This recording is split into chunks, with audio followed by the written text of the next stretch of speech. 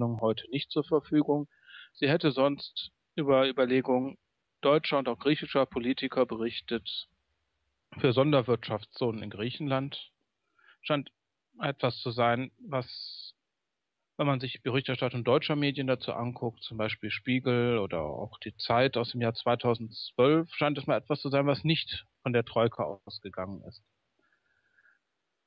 Ja, aber aufgeschoben ist nicht aufgehoben.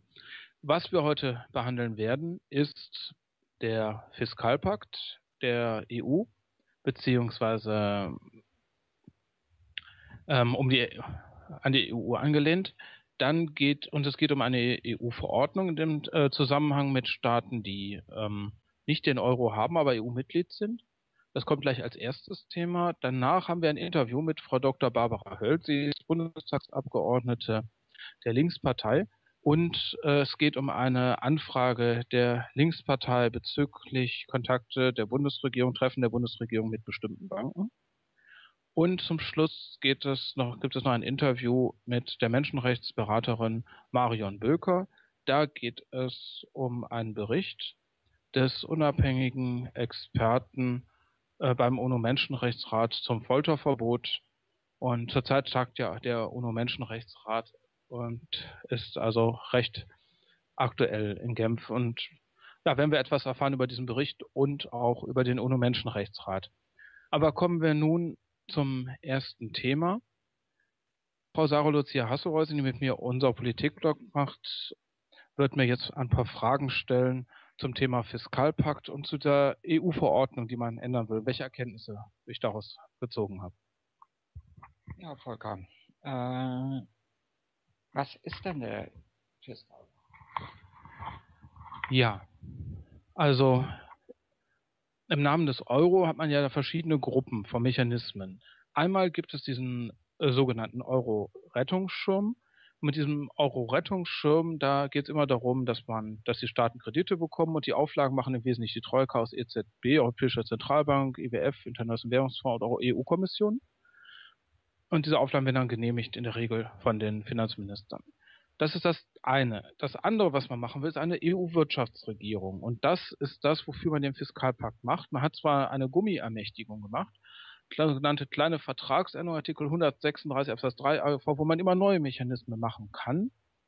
Und Hauptsache, die sind für die Finanzstabilität, also für Stabilität des Finanzsektors, wofür man die Metapher benutzt, äh, Stabilität des Euro-Währungsgebiets als Ganzes, aber man meint eben die Finanzstabilität der großen Kreditinstitute, die im Euro-Währungsgebiet so ansässig sind oder dort tätig sind. Und ähm, die Wirtschaftsregierung, die man da bauen will, das sind im Wesentlichen EU-Verordnungen und die haben entweder keine oder keine hinreichende Grundlage in den Verträgen der EU.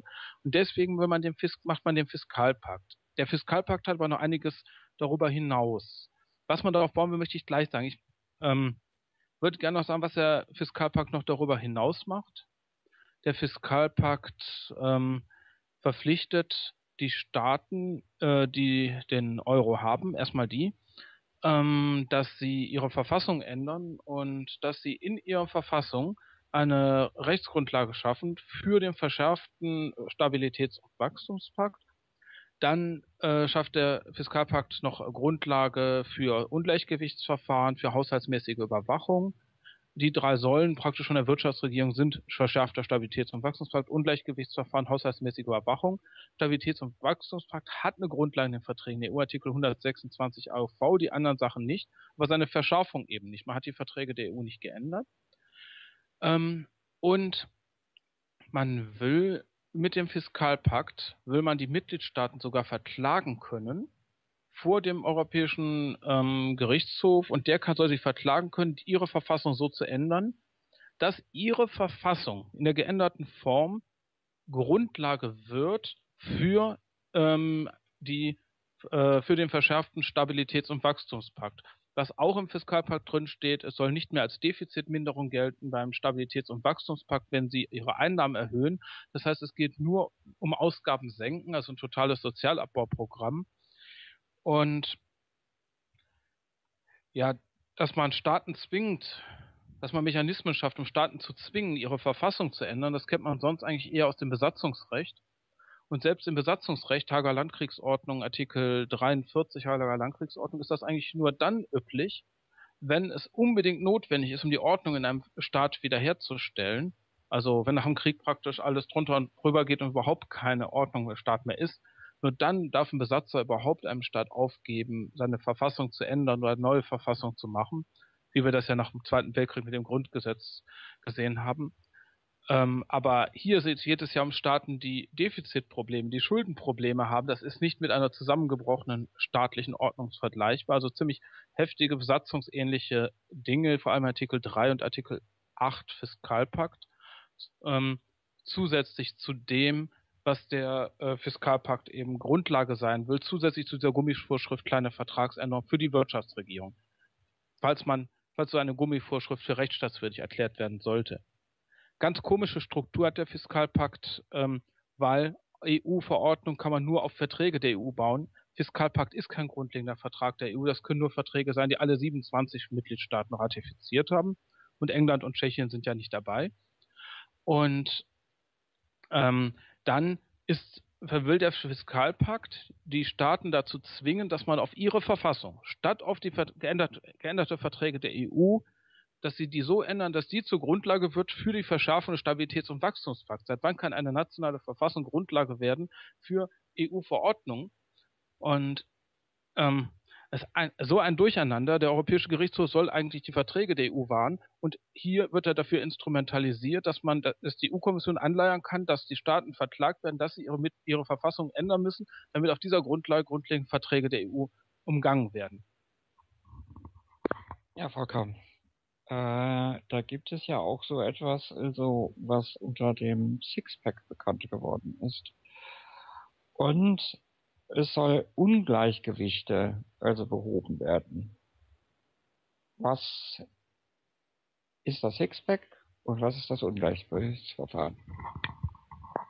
Ja, also ähm, Sixpack, da geht es um mehrere ähm, EU-Verordnungen. Einmal geht es um die EU-Verordnung zum Stabilitäts- und Wachstumspakt.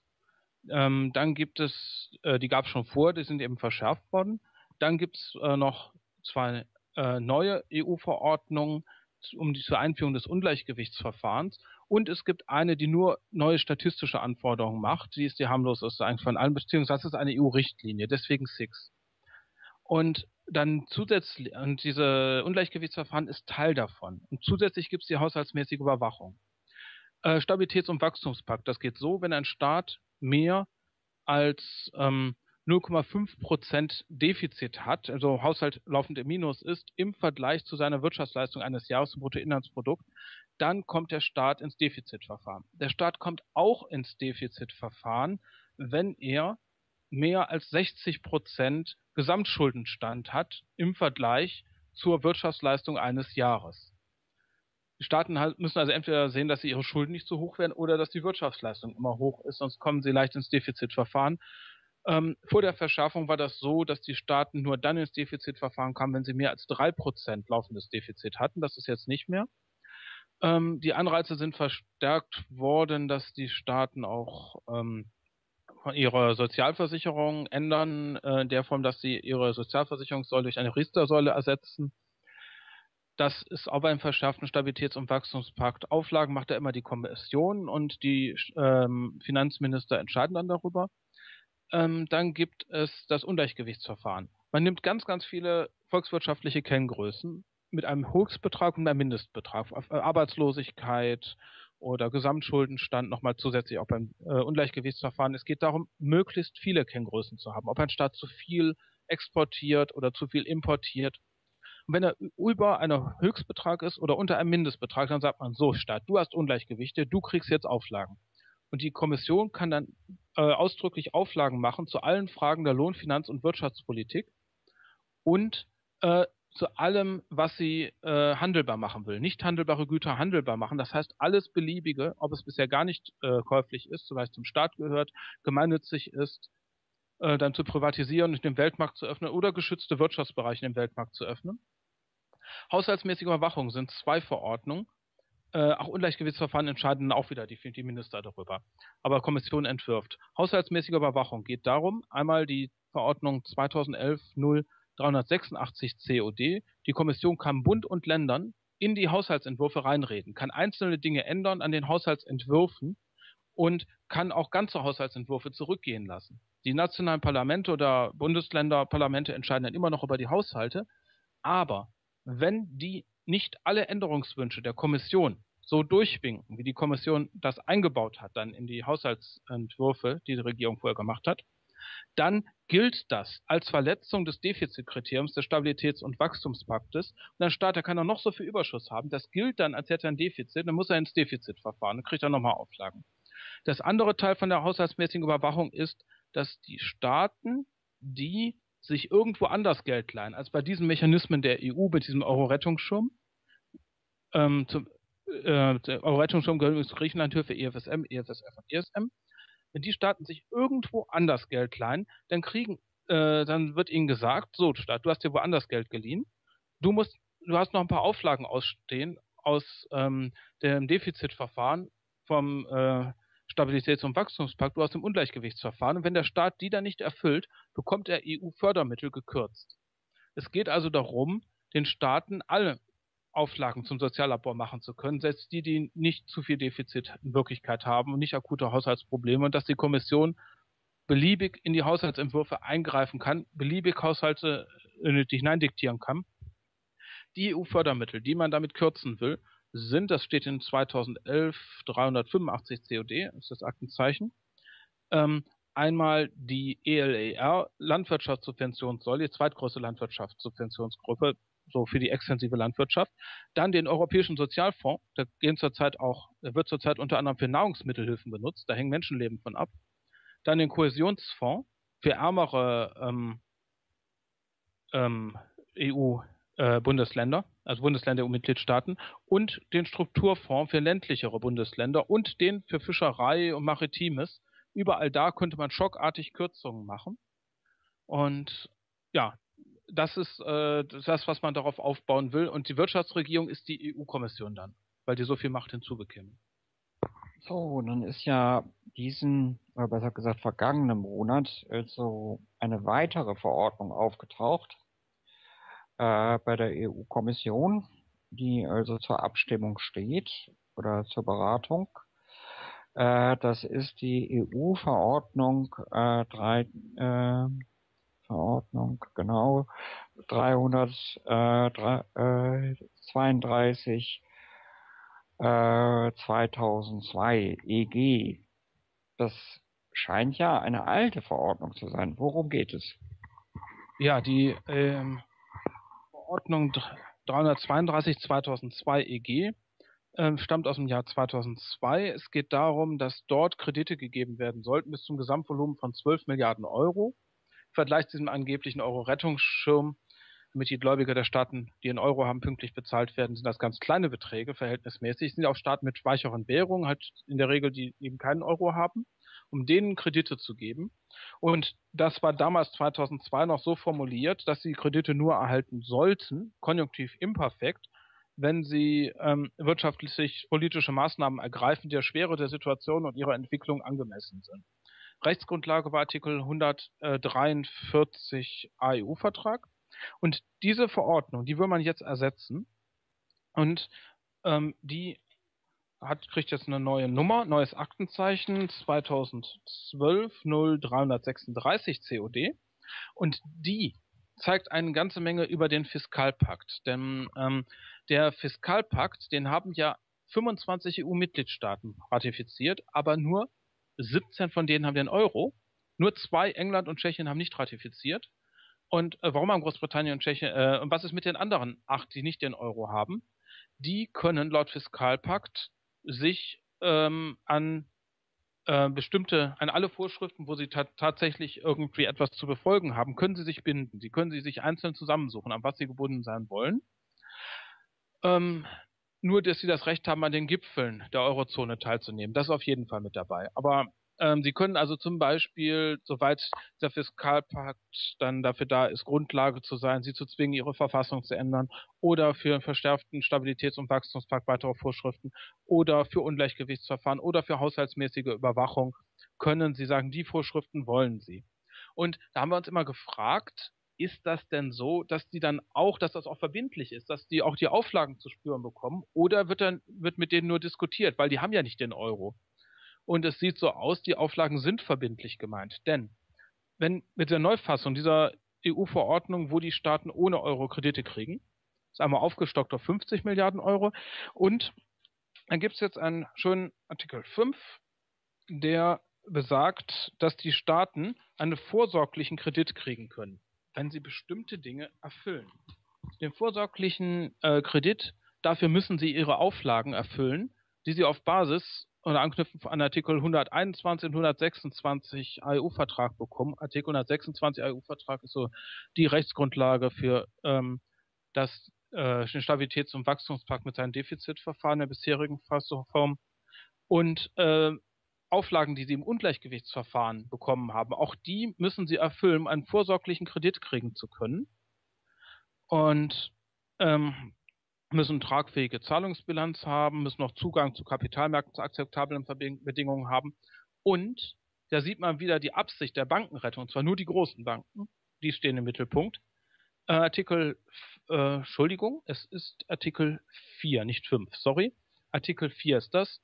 Und da ähm, ist es Absatz 1 Buchstabe F, dass bei den Staaten ähm, es keine Solvenzprobleme gibt bei Banken, die eine systemische Bedrohung für die Stabilität des Bankensystems darstellen können. Das heißt, alle großen systemrelevanten Banken, die dürfen keine akuten Zahlungsprobleme haben.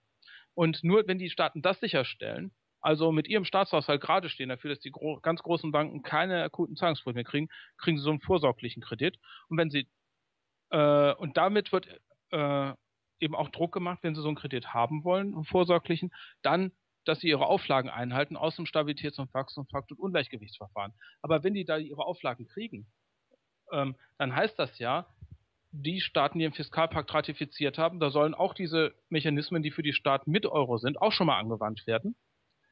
Ähm, und wenn die Staaten aber das nicht alles erfüllen, dann kriegen sie Auflagen zu verschärften Bedingungen und vor allem zusätzlichen Bedingungen, ähm, die sie nicht schon im Stabilitäts- und Wachstumspakt äh, Defizitverfahren oder im Ungleichgewichtsverfahren gekriegt haben.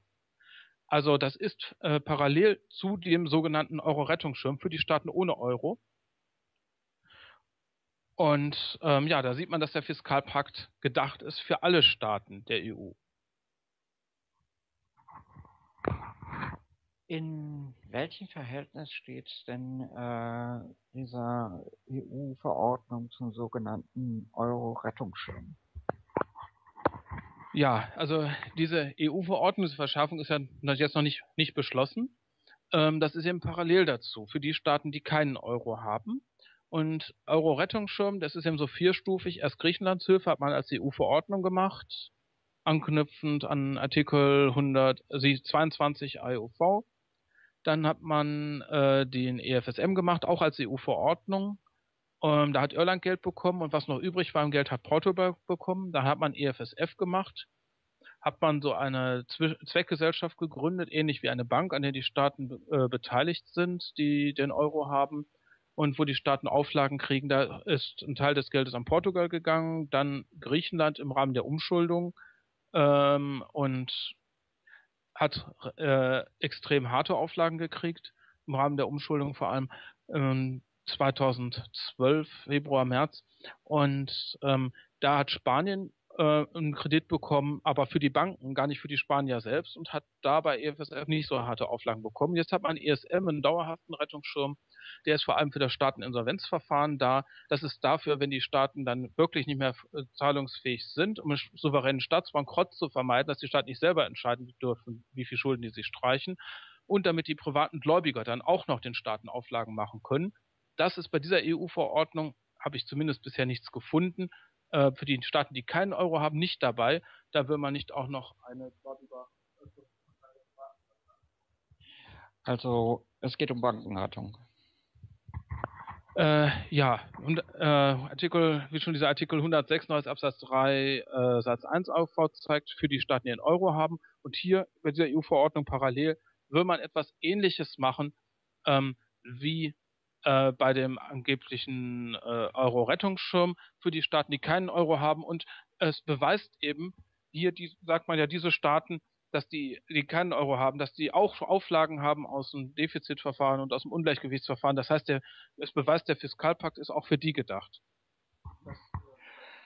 Ähm, ist das denn so genauso ultravirus äh, so wie die anderen Verordnungen? Ja, also ähm, Ultravirus heißt ja kompetenzüberschreitend. Kompetenzüberschreitend ist ja schon mal, dass man EU-Verordnungen da stützen will auf einen Vertrag, der außerhalb des EU-rechtlichen Raums ist. Nur was alle 27 EU-Mitgliedstaaten ratifiziert haben. Großbritannien und Tschechien haben das nicht getan kann äh, ein grundlegender Vertrag der EU sein. Das Fiskalpakt ist ein ganz normaler völkerrechtlicher Vertrag. Und da maßt man sich aber an, da in Artikel 3, 4, 5, 7 äh, Grund, Grundlagen zu schaffen für äh, Verschärfung, Stabilitäts- und Wachstumspakt. Artikel 5 Absatz 2 für die haushaltsmäßige Überwachung. Artikel 9 für das Ungleichgewichtsverfahren. Ein Vertrag, mit dem man von außen Rechtsgrundlagen schaffen will für EU-Verordnungen. Das ist sowas von völkerrechtswidrig. Und dann Fiskalpakt ist ein Vertrag mit einfachem völkerrechtlichen Rang. Das ist kein EU-Recht. Damit will man dann noch eine Grundlage haben, den Staaten, die Staaten zu zwingen, unter Benutzung eines Organs der EU, der EU-Kommission, die dann, die dann, die darf entwerfen, was die Staaten in ihre Verfassungsänderungen einbauen sollen, nämlich, äh, dass es Grundlage wird für Verschärfung des Stabilitäts- und Wachstumspakts und die Kommission kann auch, was sie für richtig hält, noch mit dazu packen und das äh, von dem Europäischen Gerichtshof einklagen lassen. Da spielen Organe der EU mit, außerhalb des EU-rechtlichen Raums. Äh, das könnte man sich vorstellen, ähm, das ist genauso ein Durcheinander, vielleicht wie bei einem Fußballspiel, wenn die Fans völlig unkontrolliert über den, über den Platz rennen oder die Spieler äh, über die Ränge äh, stürmen. Und nur es ist halt, ist halt sehr viel ernster. Hier wird heftigst in die Souveränität der Staaten eingegriffen. Hier wird es nicht mehr als Defizitminderung gerechnet, wenn die Staaten ihr, ihre Einnahmen erhöhen. Das geht in Richtung Ausverkauf der Staaten und der EU-Kommission eine diktaturähnliche Macht zu geben? Ja, ich sage dann jetzt mal erstmal Danke. Also, wir werden uns ja gleich nochmal mit dem Thema zu Big to Viel Banken behandeln. Äh, ja, kleinen Moment. Und nachdem Volker jetzt gleich geendet hat, machen wir Musik. Man hat äh, sich übrigens, damit man die EU-Fördermittel, die genannten, also EU Sozialfonds, Maritimes und Fischereifonds, den zweitgrößte landwirtschaftliche Säule, Kohäsionsfonds, Strukturfonds instrumentalisieren kann, dass man diese Fördermittel schockartig kürzen kann, wenn die Staaten ihre Auflagen nicht erfüllen, hat man noch eine EU-Verordnung gemacht, 2011-0276 COD. Und da wird ausdrücklich angeknüpft, ähm, nicht nur daran, wenn sie ihre Auflagen ähm, eben aus ähm, Stabilitäts- und Wachstumspakt nicht erfüllen und Ungleichgewichtsverfahren, sondern auch, wenn sie ihre Auflagen dann aus dem ESM nicht erfüllen oder wenn Sie Ihre Auflagen, jetzt kommt es auch aus EU-Verordnung 332 2002 EG nicht erfüllen. Das gleiche würde natürlich gelten in dieser neuen verschärften Fassung. Das heißt, man wollte doppelt sicher gehen, dass man die Staaten unter Kontrolle kriegt, dass man ihnen sie erst immer möglichst abhängig macht von EU-Fördermitteln und dann das als zusätzliches Druckmittel hat, ähm, wenn sie ihre Haushalte nicht ändern wollen, wie die Kommission das will, dass man ihnen schockartig diese EU-Fördermittel kürzen kann. impose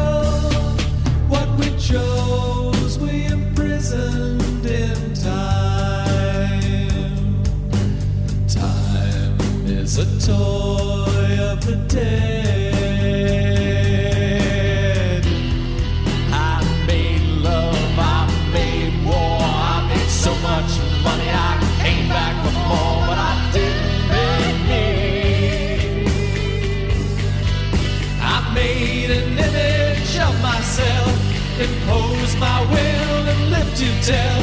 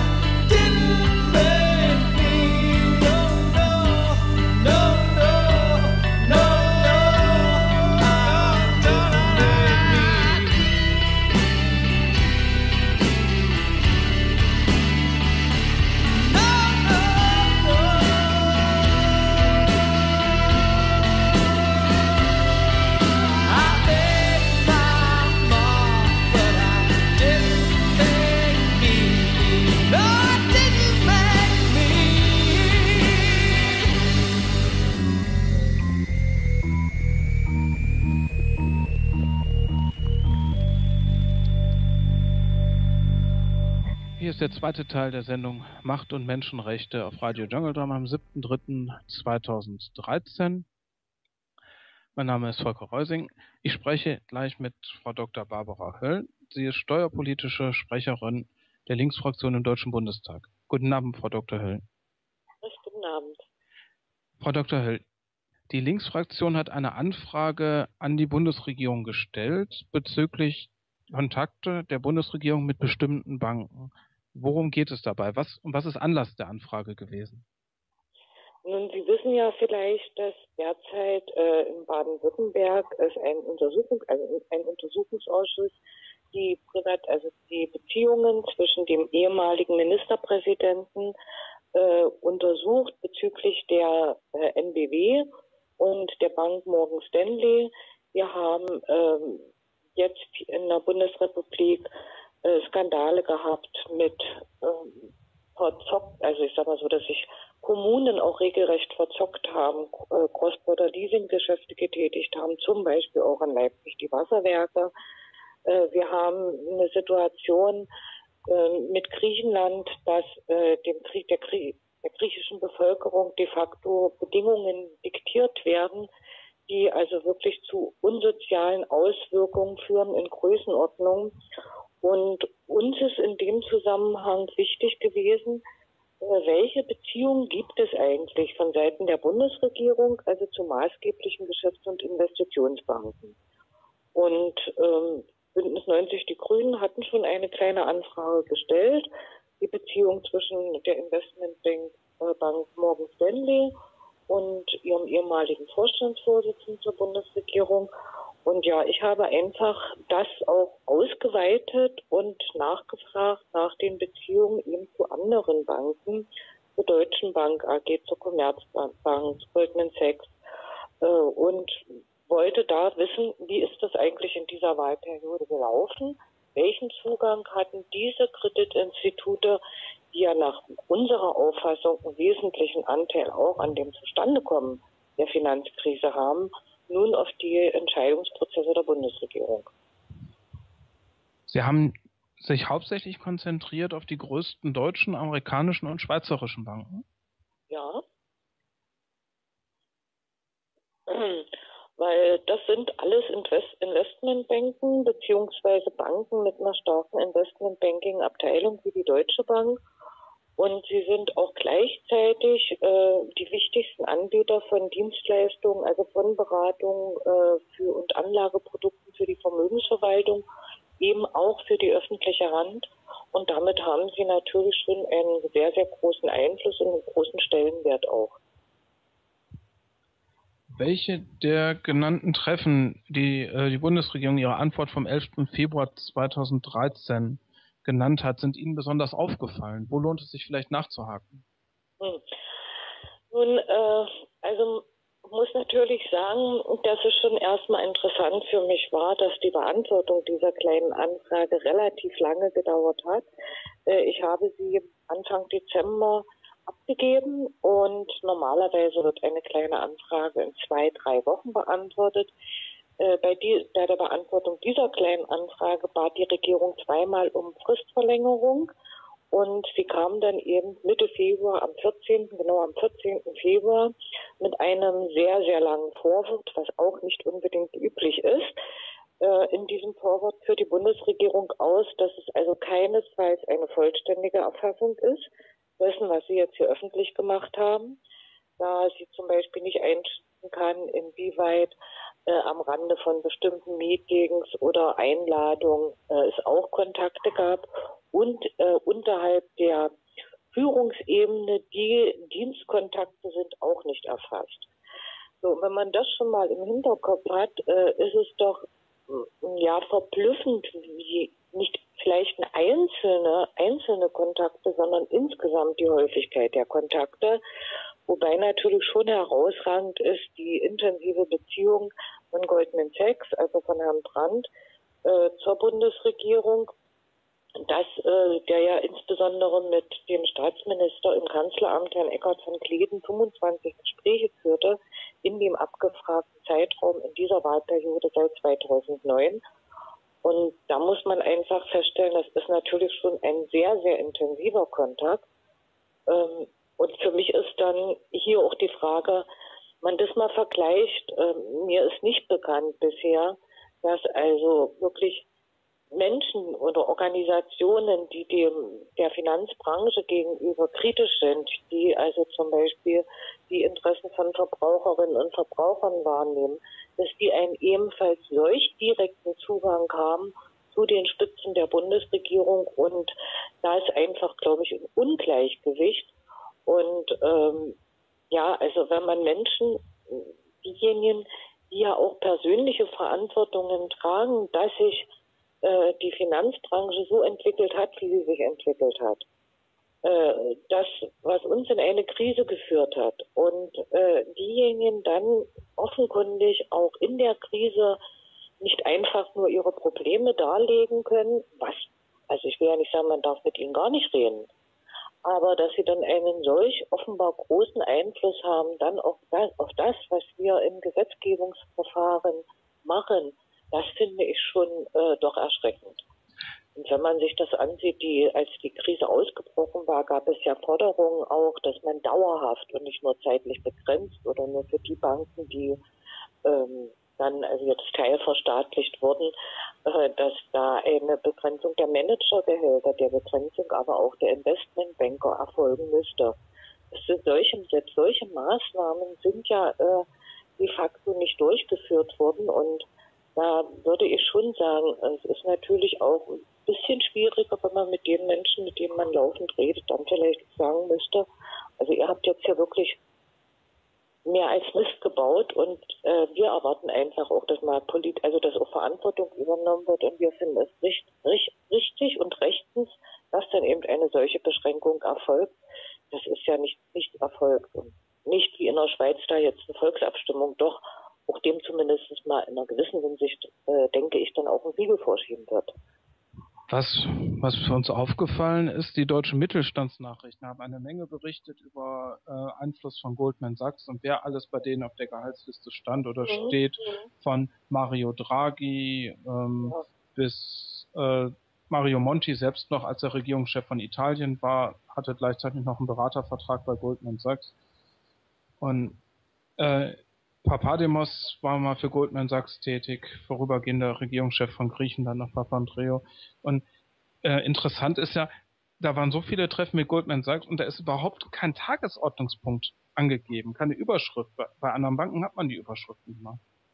Ja, das ist also eine Frage, die, wo es sich lohnt, auch noch weiter dran zu bleiben.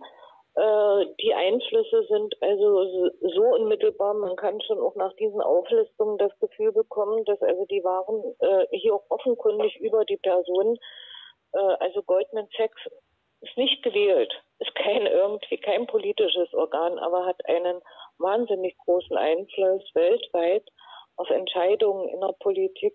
Das finde ich schon erschreckend. Das muss ich einfach sagen. Da ist ja nichts an parlamentarischer Kontrolle, sondern es wird unmittelbar eingespeist. Und äh, es ist einfach etwas, was auch im demokratischen System was da viel fehl am Platz ist. Also wir brauchen, dafür wählen wir Parlamente, wir wählen Regierungen und hier muss auch eine Transparenz da sein und es muss zumindest gewährleistet sein, zumindest, dass äh, gleichermaßen Zugang von verschiedenen Interessengruppen auch auf den jeweilige politischen Entscheidungen gewährleistet ist. Und das, glaube ich, ist offenkundig nicht der Fall. Was uns auch aufgefallen ist, die Taz hat im Juli 2000, war das? Juli 2011 berichtet. Da war ein Gipfel um den Euro und um den Euro, um, dass äh, Josef Ackermann, ehemaliger Vorstandsvorsitzender der Deutschen Bank, die deutsche Bundeskanzlerin offiziell für den Gipfel beraten hat. Da, mhm. bei, dem, bei den Gesprächen habe ich auch nichts gefunden, wo die Deutsche Bank einmal den Euro auf die Tagesordnung gebracht hätte bei den genannten Terminen. Nur die Commerzbank. Aber da habe ich medial gar nichts gefunden, wie die Commerzbank sich um den Euro kümmern würde. Ja, also da hat ja die Bundesregierung eben eingeräumt, äh, sie können das jetzt hier nicht, nicht, die Transparenz nicht völlig herstellen. Es wird keine, es ist keine lückenlose Aufstellung. Diese kann nicht gewährleistet werden. Ähm, das ist einfach eine Position, die die, also die Bundesregierung hier so einnimmt. Und äh, man muss sich dann eben wirklich immer wieder nachfragen und äh, das so zur Kenntnis nehmen, dass es eben weit über das, was normal in Gesetzgebungsverfahren ist. Das ist also wenn es bestimmte Probleme gibt, dass es natürlich dafür Lösungsvorschläge geben muss. Dass man da vielleicht auch unterschiedliche Sichtweisen und Ansichten nehmen könnte. Es erfolgen interne Anhörungen in, in Ministerien, es erfolgen dann aber auch öffentliche Anhörungen in den Ausschüssen, also auch im Finanz- und im Haushaltsausschuss, äh, wo Positionen vorgetragen werden. Aber wenn im Prinzip mm, man den Eindruck erhalten muss, dass äh, das meiste schon im Vorfeld abgeklärt ist, äh, in enger Verbindung mit der Finanzbranche, also über den Sektor, über den wir jetzt reden, dann heißt das natürlich auch äh, im Umkehrschluss, dass das, was an öffentlicher Beratung dann noch stattfindet, eigentlich wahrscheinlich oftmals nur noch Placebo-Beratungen sind. Und äh, ja, die wirklichen Vorschläge auch von der Opposition, also auch Vorschläge insbesondere meiner Fraktion, wurden ja nicht aufgenommen. Also äh, wir waren für eine Bankenabgabe, die dann wirklich die Verursacher der Krise mit heranzieht, dass sie dann auch die Risiken mittragen, dass es nicht erfolgt. Wir haben also wirklich wieder im Prozess eine Privatisierung der Gewinne, die stattgefunden hat, und eine Sozialisierung der Schuld, also der Risiken, der Verluste, der, der jetzt äh, Übernahmen, Risikoübernahmen auf die öffentliche Hand. Und das ist etwas, womit ich und, und meine Fraktion wirklich überhaupt nicht einverstanden sind. Ja, eher das Gegenteil. Man nimmt ja Wissen, ich meine, man nimmt ja eher willentlich in Kauf, dass die Staaten alle insolvent werden, um nur die Banken äh, absichern zu können. Ja. Also das ist einfach, das kann man ja, es ist ein, geschieht natürlich in einer öffentlichen Diskussion. Also ich sag mal, besonders augenfällig ist ja Irland. In Irland war es keine Staatsschuldenkrise. Irlands Staatsfinanzen waren in Ordnung. Es gab da eine Bankenkrise, die dann der Staat übernommen hat. Also die, um die Banken zu retten, gab es dann eine Staatsverschuldung. Das ist natürlich etwas anderes, als wenn ein Staat äh, falsch gewirtschaftet hätte. Und äh, hier muss man einfach sagen, ich habe nicht das Gefühl, oder bin, das heißt nicht das Gefühl, also ich weiß, dass auch die Bundesregierung aus den Fehlern der Vergangenheit nicht gelernt hat, dass sie nicht konsequent herangegangen ist, jetzt irgendwie die Macht der Finanzmärkte einzudämmen. Also es liegt auf der Hand, dass wir als wirklich unmittelbar verschiedene Möglichkeiten hätten, Instrumente, wo sich gerade die Bundesrepublik und die Bundesregierung als stärkste Volkswirtschaft in Europa sehr, eine sehr starke Position hat. Und natürlich, wenn sie hinter bestimmten Maßnahmen sich, also wenn sie die Maßnahmen in Angriff nehmen würde, es dann auch eine hohe Wahrscheinlichkeit gäbe, das international durchzusetzen. Und von der, von der wirklichen Regulierung der Finanzmärkte sind wir also immer noch meilenweit entfernt. Ähm, nehmen wir das, den Punkt äh, Finanztransaktionssteuer. Ähm, alle wissen, dass diese Finanztransaktionssteuer, wenn sie dann kommt, und es gibt ja nun inzwischen äh, auch aus der, mh, aus der Koalition da viele Stimmen dafür, es gibt aber immer noch Stimmen dagegen, insbesondere aus der FDP, äh, Trotzdem wird sie nicht, selbst wenn sie international beschlossen wird und europäisch, wird sie nicht sofort also greifen, wird nicht dieses Jahr mehr kommen. Wir haben gerade in der vergangenen Sitzungswoche äh, wieder im Bundestag diskutiert und ein Gesetz verabschiedet, wo vorgeschlagen wurde, um diese äh, äh, den Hochfrequenzhandel, also das, was wirklich ein der Auswüchse der Entwicklung der Finanzmärkte der letzten Jahre, dass in, in Bruchteilen von Sekunden Aktien unvorstellbar, also Finanztransaktionen, der Kauf, Verkauf von Aktien, von, von Fremdwährungen erfolgt, ein Bruchteil von Sekunden. Und dass man da als eine Regulierung sagen könnte, eine Mindesthaltefrist. Es darf nicht einfach eine Computereingabe und dann läuft ein Programm, sondern bevor eine, Transaktion darf immer erst noch nach wenigstens einer halben Sekunde stattfinden. Da sagten Fachleute im Finanzausschuss in der Anhörung, durch eine soll, eine soll, diese Maßnahme, durch eine Maßnahme könnte man über 90 Prozent dieses hochriskanten Hochfrequenzhandels, so nennt er sich, weil es eben so ganz schnell geht, könnte man lahmlegen. Ja? Aber äh, die Bundesregierung will das eben nicht. Es gibt jetzt eine, ein Gesetz, was sich zwar Regulierung verspricht, aber eben wieder de facto keine Regulierung ist. Und das ist einfach eine Situation, wo man sagen muss, letztendlich können die Banken so weitermachen wie bisher.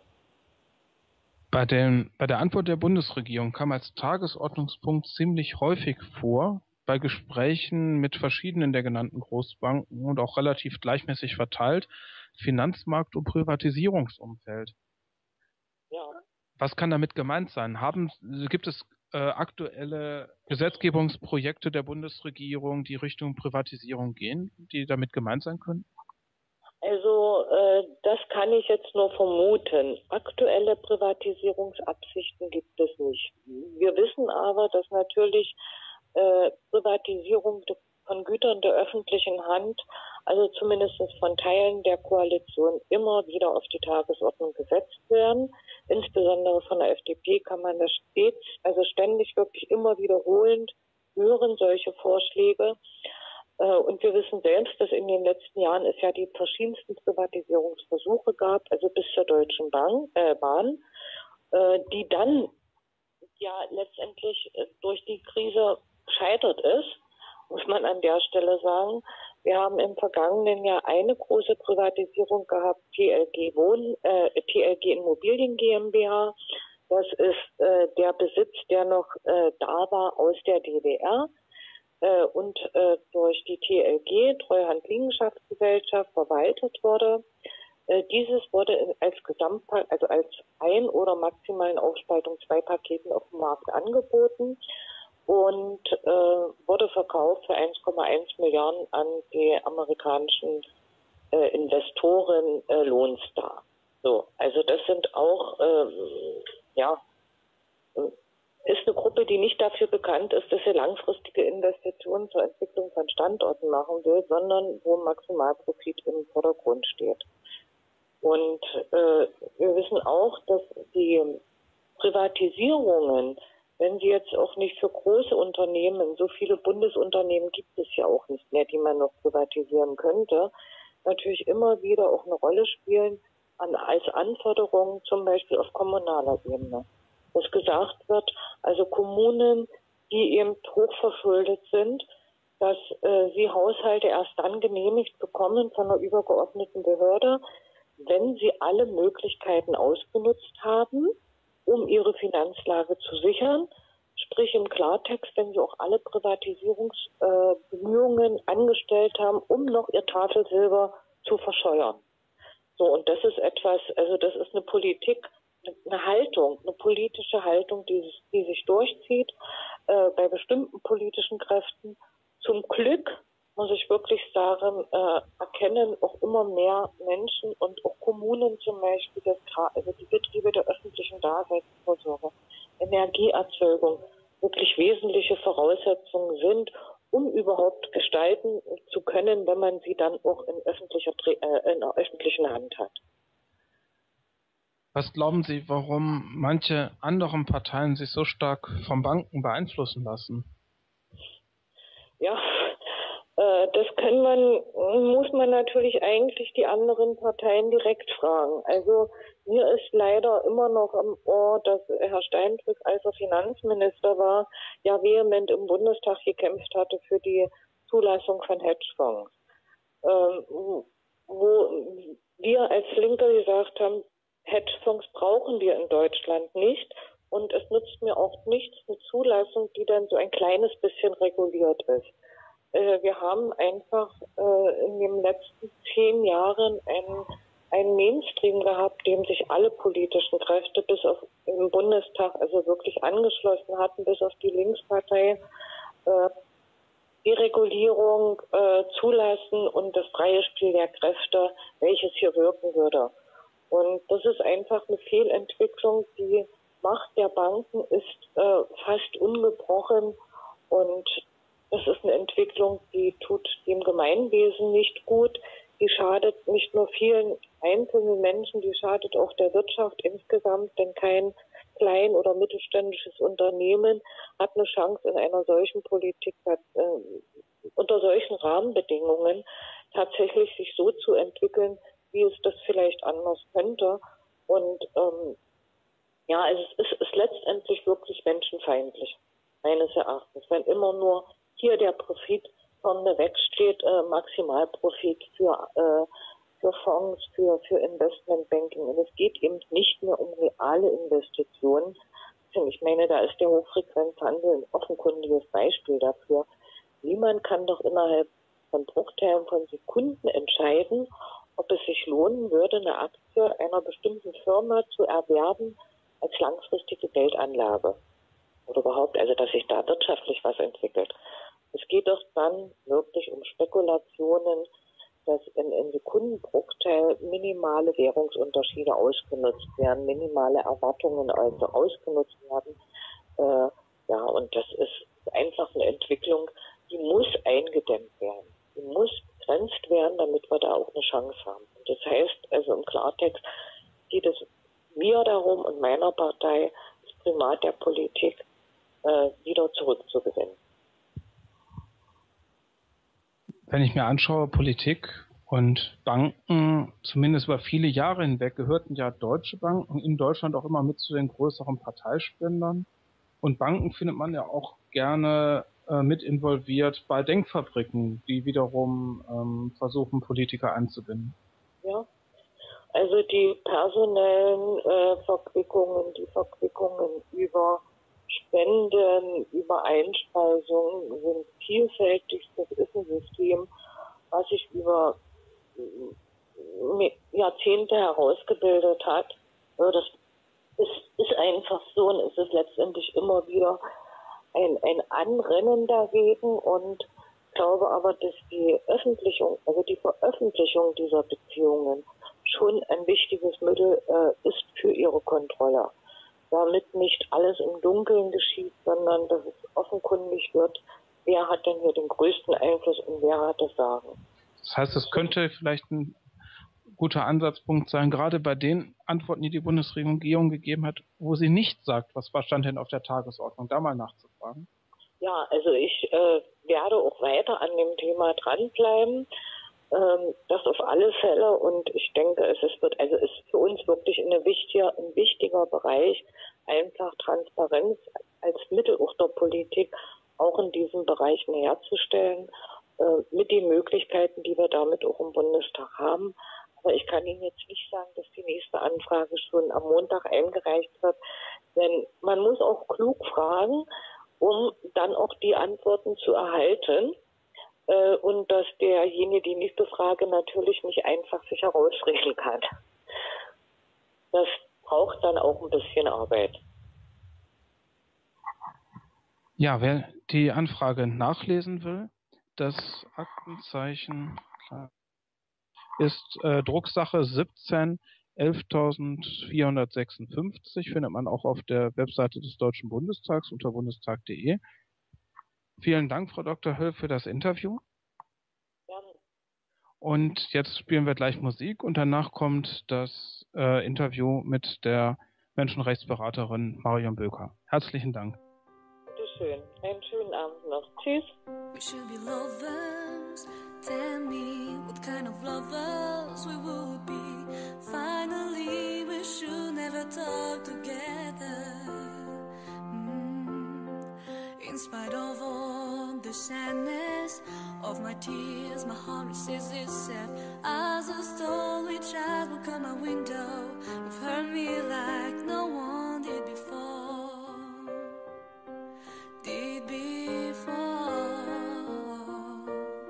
But think I need some. I drive my own competition.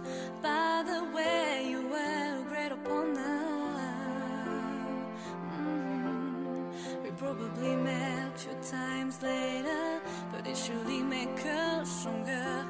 Face to face with life, don't you see? what this time was waiting for.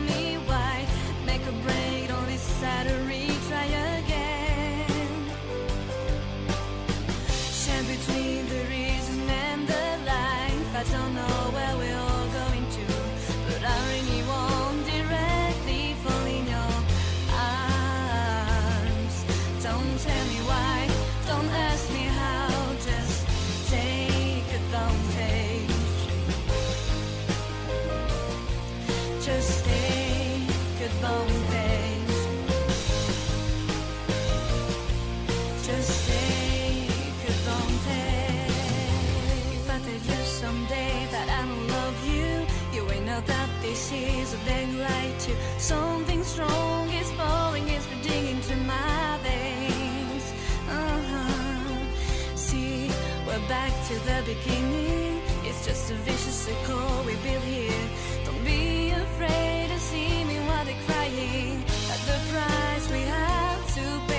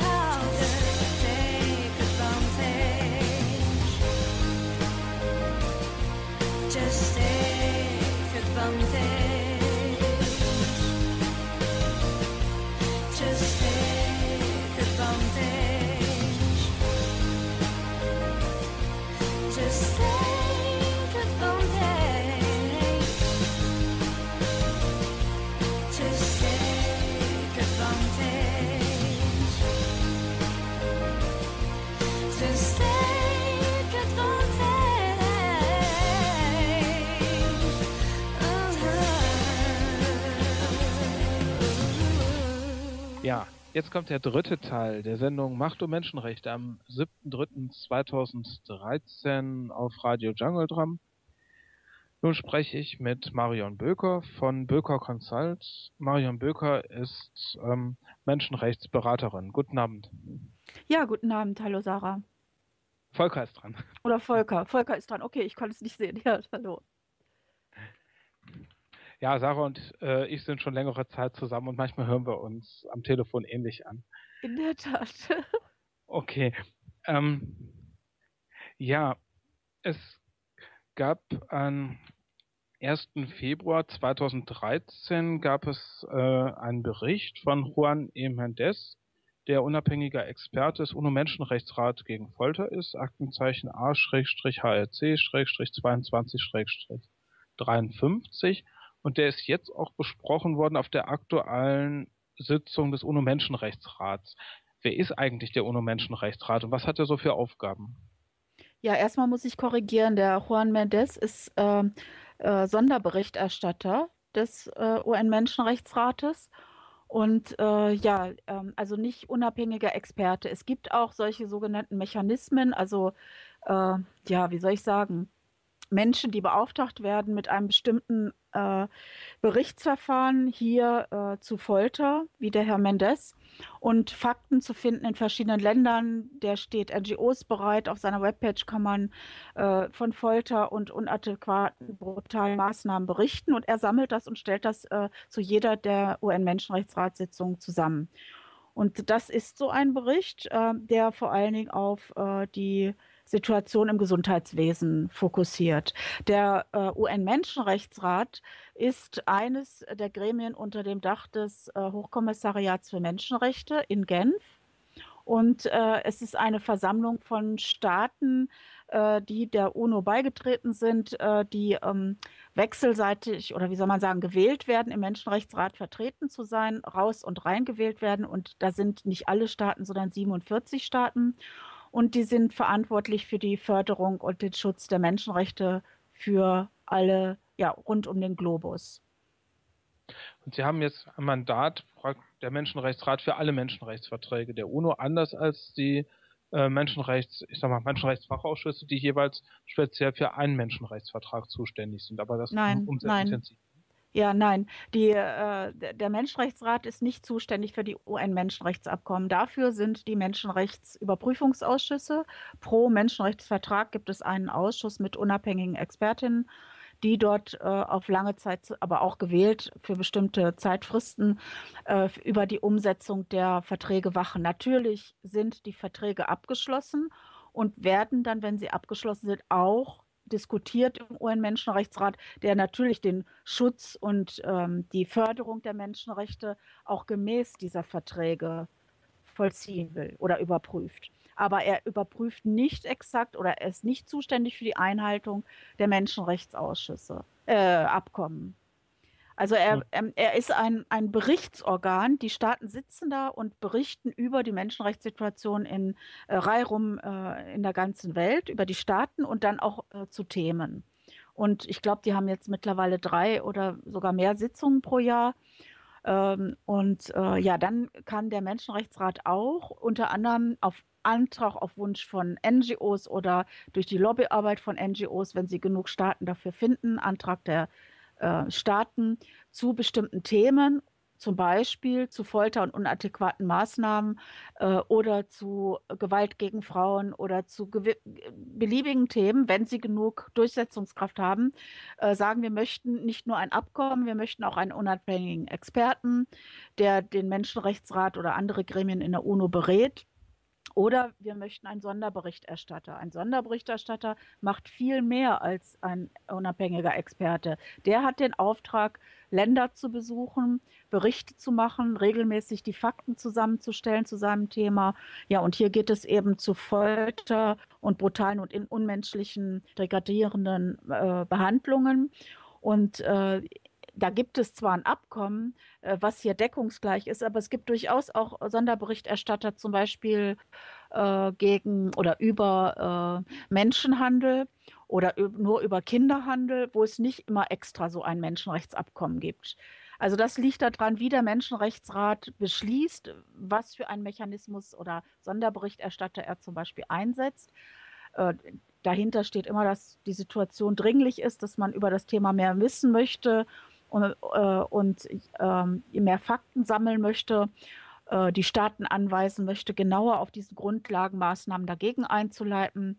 Äh, ja, und ähm, der Herr Mendes ist jetzt schon längere Zeit Sonderberichterstatter und hat sich jetzt das Thema, es gibt ja viel Folter, er hätte ja auch über Folter in äh, Untersuchungshaft oder Folter in Abschiebegefängnissen äh, einen Bericht machen können, aber er ist jetzt beauftragt worden, hier über das, im, also Folter und unmenschliche Behandlung im Gesundheitswesen zu berichten.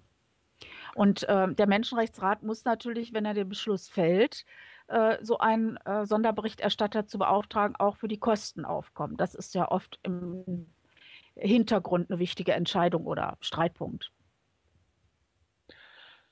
Ähm, Folter, das ist doch nach der Anti-Folter-Konvention CAT.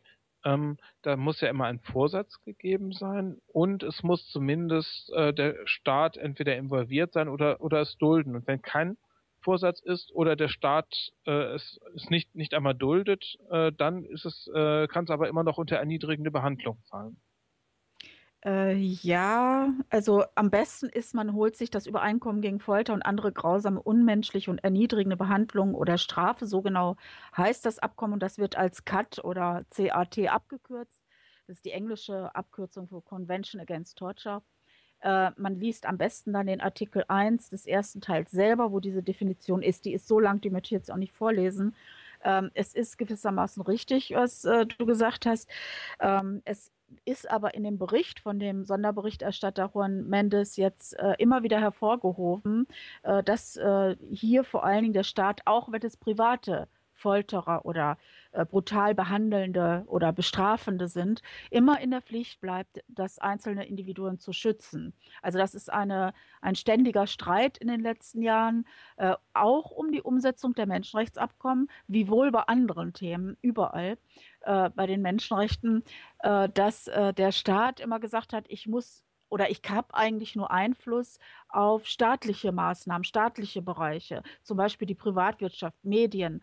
Wenn ein äh, Mensch zu Hause seine Partnerin oder seinen Partner schlägt, da kann ich ja nicht rein. Wie soll ich da schützen? Da gibt es einen ich glaube, in der Diskussion fiel hier irgendwo Paradigmenwechsel mittlerweile äh, aus verschiedensten Richtungen, auch aus den Überprüfungsausschüssen zu den UN-Menschenrechtsabkommen, auch von Seiten der äh, NGOs ist das jahrelang gesagt worden, es kann nicht sein, dass der Staat sagt, hier äh, und da tue ich was, aber in ganz vielen Gebieten nicht und es da zum Beispiel zu Willkür kommen kann. Das heißt, ähm, heute geht man davon aus, äh, dass der Staat eine Schutzpflicht hat und die in allen Bereichen des Lebens äh, zu allen von ihm unterzeichneten, ratifizierten Menschenrechten im Einzelnen äh, äh, zu gewährleisten hat. Das heißt, wenn eine private Person oder Institution foltert oder wie im Gesundheitswesen, wie in diesem Bericht ja ausführlich beschrieben, wo und wie das vorkommt, gegen wen das vorkommt, ähm, wenn es Krankenhäuser sind, Ärzte sind, wenn es psychiatrische Kliniken sind, wenn es ähm, gegen Minderheiten und bestimmte Gruppen geht, muss der Staat sagen, Moment mal, wenn ich davon Kenntnis habe, dann muss ich diese Leute schützen. Ich muss etwas tun, zum Beispiel mit den Krankenhäusern reden, zum Beispiel, ich bin ja auch Expertin für Gender Budgeting, er müsste ja im Prinzip hingehen und sagen, Moment, also wenn es da in dem Krankenhaus vorkommt, kann das keine staatliche Subvention mehr bekommen. Keine Fördergelder für diese Forschung, keine und so weiter. Also oder für die Stelle, wo es genau passiert. Dann muss man aber da reingehen und mit diesen Leuten reden und sehen, dass die Situation umgehend unverzüglich aufhört. Und davor haben sich viele Staaten immer gedrückt. Also es ist ja vielleicht dazu sagen, ähm, da foltert eine private Institution, da haben wir nichts mit zu tun. Äh, da ne, also so ein Krankenhaus, die sind ja heute in der Regel privatwirtschaftlich organisiert. Ähm, das ist eine der großen Themen, die hier in diesem Bericht ganz allgemein, ganz am Anfang auch schon hervorgehoben werden. Und auf der ähm, Seite 6 ähm, ist auch direkt äh, die Vorsitzende des äh, UN-Frauenrechtsabkommens, äh, also aus dem Überprüfungsausschuss dazu, Silvia Pimentel genannt. Die kommt aus Brasilien und hat genau diese äh, Schutzpflicht des Staates nochmal hervorgehoben. Bei dem CEDAW-Abkommen oder der Konvention zur Abschaffung jeglicher Dis jeder Form der Diskriminierung gegen die Frau oder aufgrund von Gender ähm, wird ähm, schon lange darüber diskutiert. Und äh, da gibt es auch eine allgemeine Empfehlung 28 über Artikel 2 von CEDAW. Ist jetzt wirklich Fachchinesisch, aber ähm, da ist das ausführlich erklärt, was diese Schutzpflicht meint. Und hier ist es jetzt, dass von den anderen Gremien in der UN und anderen Ausschüssen und so weiter sozusagen alle wieder zusammensitzen und diesen Menschenrechtsrat und seine 47 Staatendelegierten äh, belehren oder informieren. Und äh, es, das heißt, bestimmte Sachen, die in, in kleinen Gremien und Teilen der UN bekannt waren, scheinen hier jetzt in diesem Bericht nochmal zusammengefasst zu sein auf dieses äh, Schwerpunktthema. Das heißt, der Menschenrechtsrat arbeitet eher thematisch und holt sich auch das Fachwissen von den äh, Menschenrechtsfachausschüssen zu den einzelnen Menschenrechtsverträgen der, der UNO. Und ähm, während die anderen eben eher vertragsspezifisch arbeiten. Und deswegen, äh, deswegen nimmt er auch auf äh, Dokumente äh, Bezug, äh, wo er gemeinsame Stellungnahmen gemacht hat, ich glaube, auch mit einem Sonderberichterstatter fürs Menschenrecht aufs Höchstmaß an Gesundheit, was man ja im UNO-Sozialpakt in Artikel 12 findet. Genau, was sich aber in anderen äh, Menschenrechtsabkommen auch äh, wiederholt. Also da gibt es immer einen Artikel 12 oder manchmal auch eine andere Nummer, aber wo das Recht auf Gesundheit wiederholt wird. Bei Kinderrechtsabkommen, natürlich bei dem neuen Abkommen über die Rechte der Menschen mit Behinderungen. Bei CEDAW ist es Artikel 12. Äh, ich glaube, bei, äh, an, bei dem Antirassismusabkommen CERT ist es auch so, bei Migrantinnen also und Arbeitsmigrantinnen in dem Abkommen, was ja die ganzen Europäer nicht gezeichnet haben, aber äh, kommt es auch vor. Das ist natürlich ganz wichtig, äh, das äh, Recht auf Gesundheit.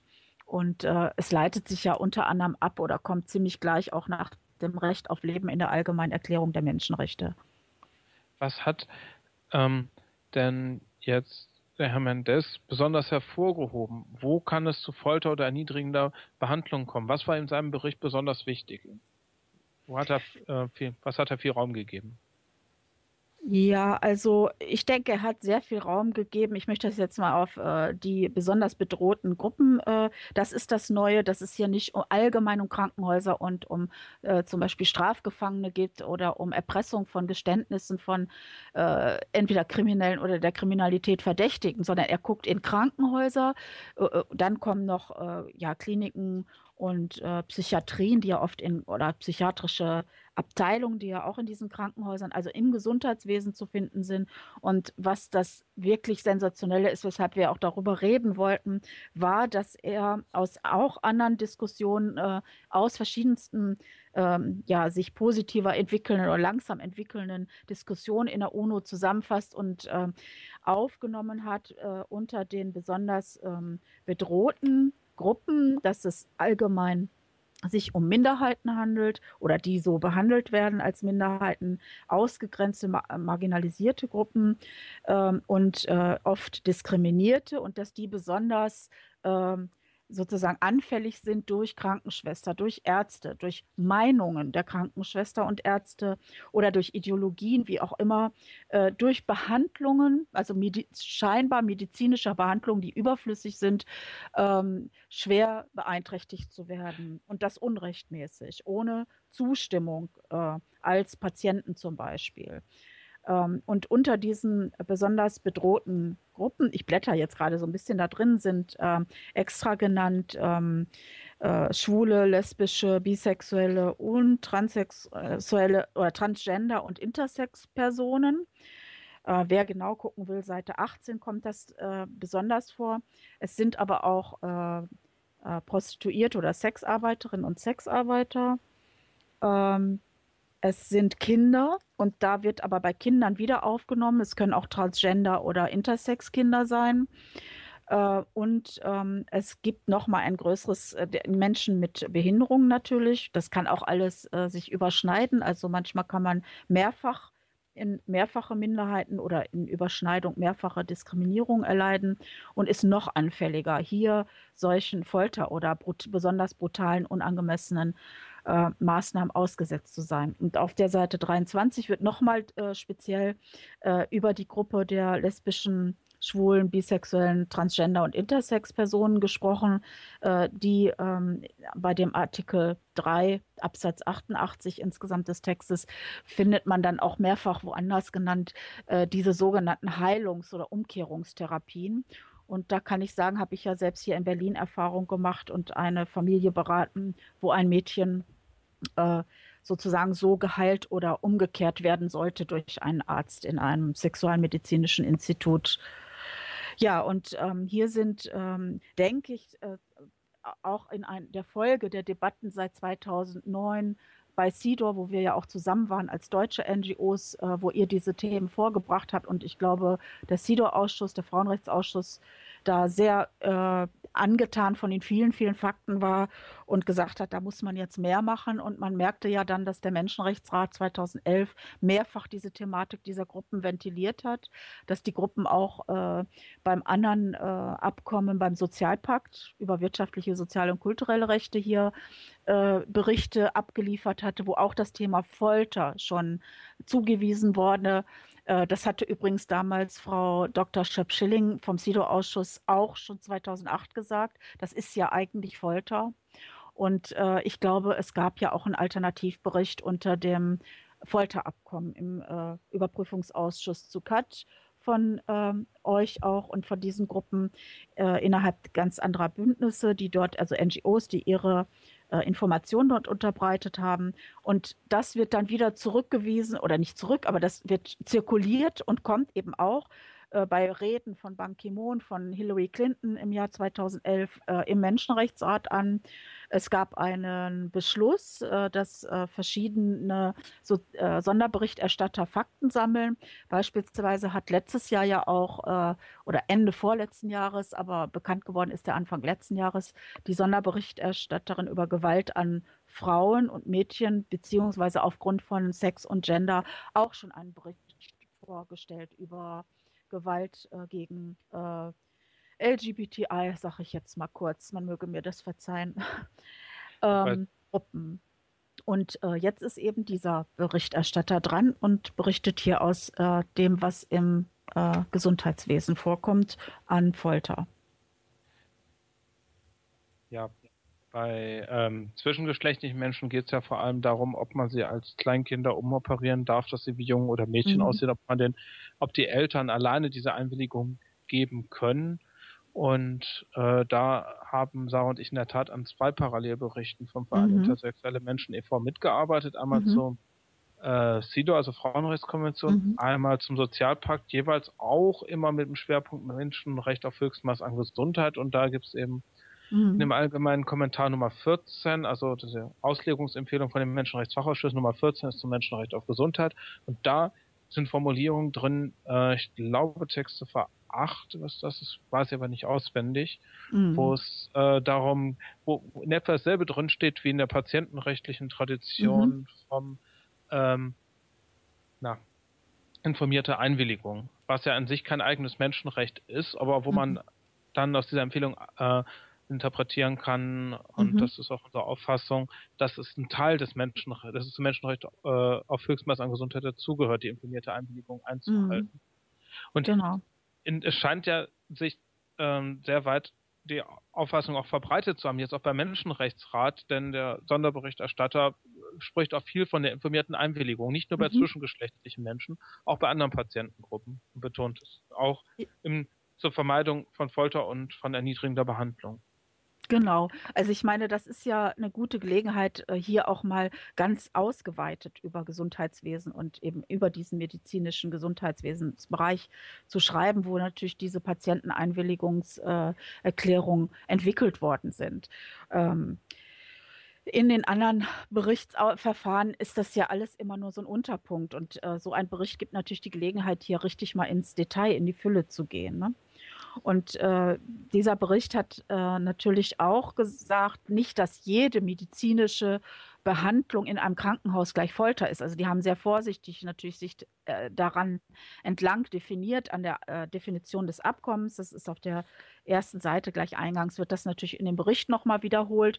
Und der Berichterstatter, Sonderberichterstatter Mendes berichtet ja auch öfter, äh, dass es eben äh, sozusagen, es gibt Folter, es, es gibt diese unadäquate, brutale Behandlung und es kann sie geben. Also es kann Behandlungen geben, die das sind. Aber er sagt eben vor allen Dingen in dem Zusammenhang, was zwischengeschlechtliche Kinder angeht, also Babys muss man ja sagen, äh, um das zweite Lebensjahr herum, äh, dass solche Operationen gänzlich äh, unerforderlich und unnötig sind. Das heißt, völlig unnötig wird diesen Menschen nicht nur in einem Alter, wo man gar nicht zustimmen kann, äh, ja, Organe oder ja, entfernt äh, und die werden zugerichtet quasi, äh, die, was dann ja lebenslange Folgen hat, die gar nicht einzuschätzen sind und die eben überflüssig sind.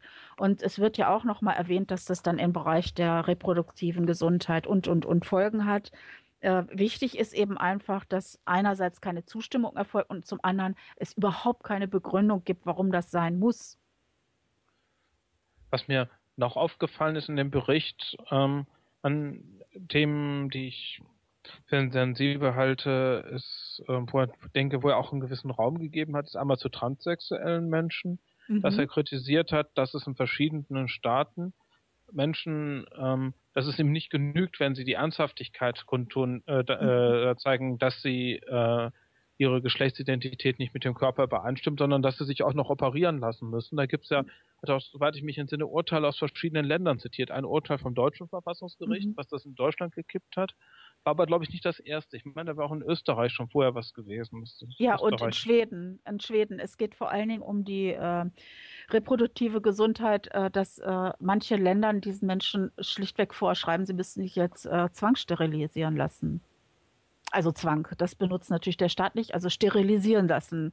Dahinter steht irgendeine komische Ansicht, dass diese Menschen sich nicht fortpflanzen dürfen oder könnten keine Kinder dann kriegen oder naja, also diese, dieses Missverst Einengung in Zweigeschlechtlichkeit, wo dann gleich auch noch die Rolle als Vater, Mutter und so weiter zugehört oder wer gebiert, wer darf überhaupt Kinder gebären und so weiter.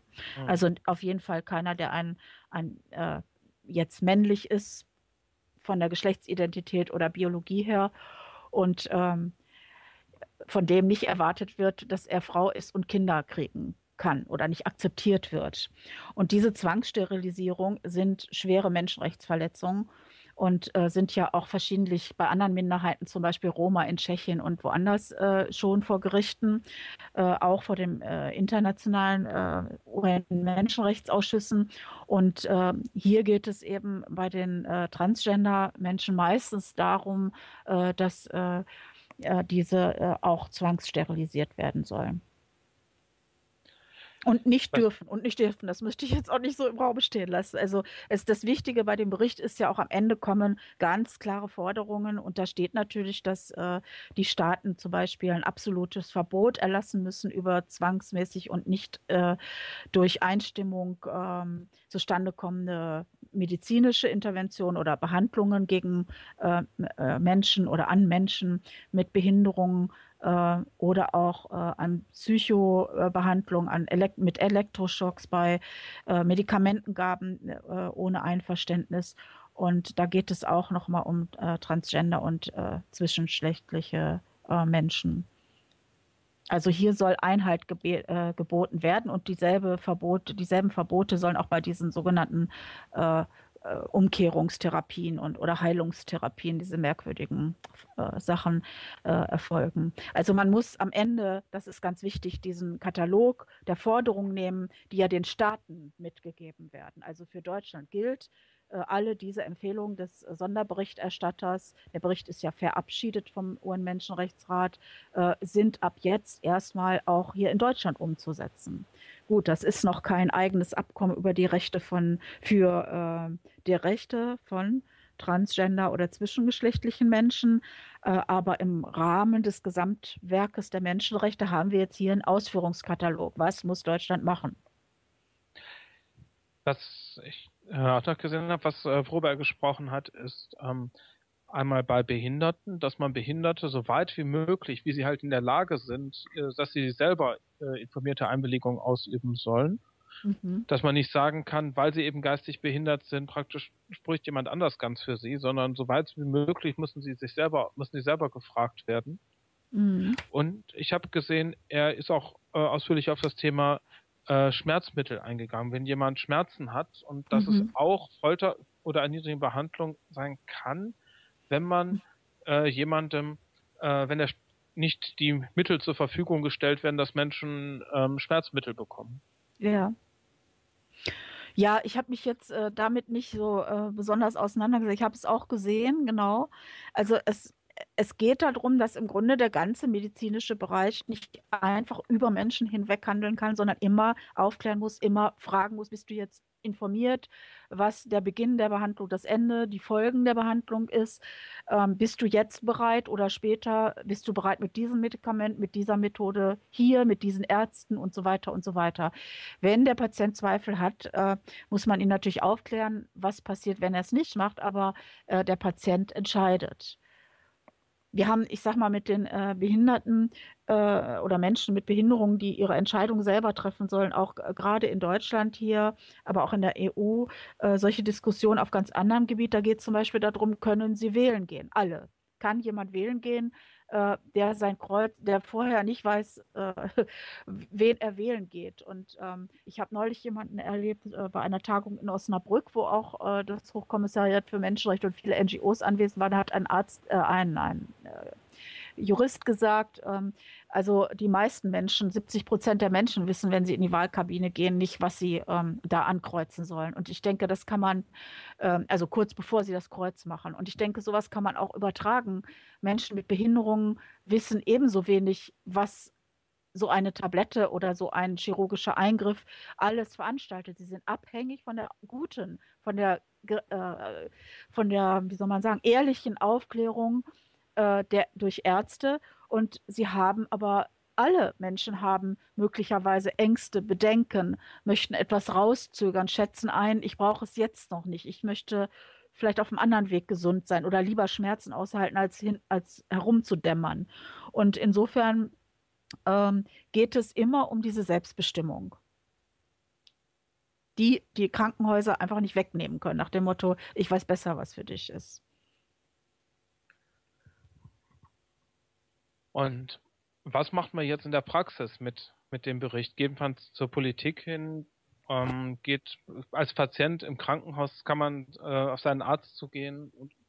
Was macht, was kann man praktisch machen mit den ja, Empfehlungen? Ich, ja, ich meine, wenn man eingeliefert wird oder wenn man irgendwie einen Notfall hat, wenn man beim Arzt ist, hat man in der Regel nicht UN-Dokumente in der Tasche. Aber es wäre richtig gut, wenn alle Menschen von klein auf in der Schule lernen. Erstens, äh, du bestimmst mit. Zweitens, du, es gibt sogar äh, Rechte, äh, die das, äh, die das vorschreiben. Vielleicht macht man kleine Zusammenfassungen dessen, was heute Stand der äh, der Rechte ist, wenn ich zu einem Arzt gehe, wenn es um Behandlung geht, wenn es äh, um äh, meine Zustimmungspflicht geht. Und vielleicht äh, gibt es ja auch ähm, Leute, die also es, äh, vorbereiten sich auf äh, solche Sachen und vor allen Dingen, ich denke, die Minderheiten und diese besonders gefährdeten Gruppen müssen angesprochen werden, wo wir wissen, dass das einfach passiert. Und ich meine, wie, man kann auch ein zweijähriges Kind nicht damit ausstatten mit einem Zettel und sagen, bitte sag nein. Also da muss man mit Eltern, mit äh, der ganzen Umgebung, mit, mit Kindergärten und so weiter reden. Ich denke, es ist wichtig, dass alle Menschen jeweils in ihrer Schulzeit und vielleicht auch in späteren Lebensphasen äh, mitbekommen, wie es um ja, die sehr, sehr vielen Menschenrechte steht, wie das heutige Verständnis oder das auch bestimmt in zwei Jahren schon wieder anders dastehende, erweiterte Verständnis davon ist. Unsere Regierung oder auch sicher andere tut nicht wahnsinnig viel, um diese Kenntnisse zu verbreiten in der Bevölkerung. Sie hat aber die Pflicht, das wissen wir alle, in jedem Menschenrechtsabkommen steht äh, an irgendeiner Stelle, die Bundesregierung klärt alle ihre Bürgerinnen und Bürger und Einwohner auf, äh, was in diesem Abkommen steht. Also die meisten Menschen haben davon noch nicht zu viel gehört. Und das wird also zusehends vielleicht in der äh, Kategorie Menschenrechtsbildung auch in Schulen jetzt aufgenommen, aber natürlich fangen die oft mit den Kinderrechten an und das ist alles sehr komplex und die kommen oft nicht weit. Also da sind dann auch äh, andere Institutionen gefragt. Zum Beispiel bin ich in einer äh, Theaterinitiative, dem Jugendtheaterbüro ähm, in Berlin, in Moabit die solche Aufklärungen machen, spielerisch erarbeiten. Das nehmen Schulen wiederum auf. Trotzdem könnte man äh, kleine Stichwortzettel machen und muss auch als NGO, die jetzt vielleicht hier mit speziell nichts zu tun hat, auf dem Stand sein und äh, versuchen, diese Informationen weiter zu verbreiten. Damit sind wir alle irgendwie beschäftigt. Ähm, Vielleicht müsste die Bundesregierung hat ja auch so eine Pflicht, alle diese Dokumente zugänglich zu machen. Zum Beispiel, ich weiß nicht, wie viele Deutsche Englisch können. Sie müsste das jetzt erstmal ins Deutsch übersetzen, ins Türkisch, ins in die in Deutschland gesprochenen Sprachen, weil es ja auch nur sechs UN-Sprachen gibt. Und ich denke, es reicht auch nicht, dass das hier auf, äh, auf Internetseiten steht. Also es müsste auch in anderen Formen veröffentlicht werden. Unsere Medien werden in der Pflicht. Ich weiß nicht, warum die Tagesschau nicht abends einmal ein UN-Dokument vorstellt und in drei, vier knappen Absätzen und Bilderchen mal illustriert, äh, was äh, dieser Standard hier ist, was das jetzt hier bedeutet und äh, Aktivisten. Ne? Also wir, wir haben sowas hier in der Tasche oder im Kopf und müssten sozusagen äh, natürlich äh, unsere Regierung äh, bis zum nächsten Menschenrechtsrat und übernächsten und so weiter immer auch auf dieses Dokument hinweisen und sagen, bitteschön, äh, hier steht einiges drin und äh, ganz aktuell, na, aktuell, aber um daran anzuknüpfen, das ist ein Dokument, was der, der ist der Deutsche Ethikrat jetzt dringend zugeschickt bekommen muss, denn er hat ja irgendwie nicht so direkt gesagt, gehört verboten äh, bei den, äh, den äh, Zwangsoperationen gegen die äh, zwischengeschlechtlichen Kinder und äh, hat so gesagt, na manchmal ist es vielleicht nötig oder nicht oder hm. also diese Uneindeutigkeit müsste er eigentlich nach diesem Dokument hier äh, korrigieren.